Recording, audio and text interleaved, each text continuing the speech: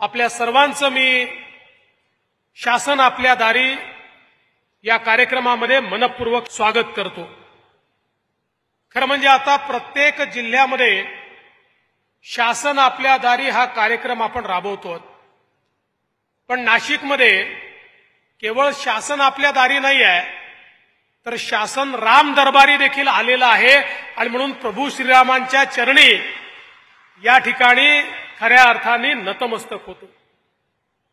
आपण नेहमी महात्मा गांधींच्या काळापासनं रामराज्याची संकल्पना मांडतो. आणि रामराज्याची संकल्पना काय आहे? तर कुठलाही भेदभाव न होता प्रत्येक नागरिकाला न्याय मिळाला पाहिजे. प्रत्येक नागरिकापर्यंत त्यांचा अधिकार पोचला पाहिजे. भारताच्या संविधानाने त्या प्रत्येक नागरिकाला जगण्याकरता जो अधिकार दिला आहे तो अधिकार त्याच्यापर्यंत पोचला पाहिजे. म्हणून खऱ्या अर्थानं जे राज्य काम करतं त्यालाच रामराज्य म्हटलेलं आहे.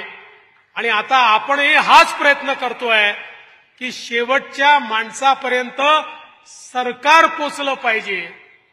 लोकांनी चक्रा नाही मारायच्या.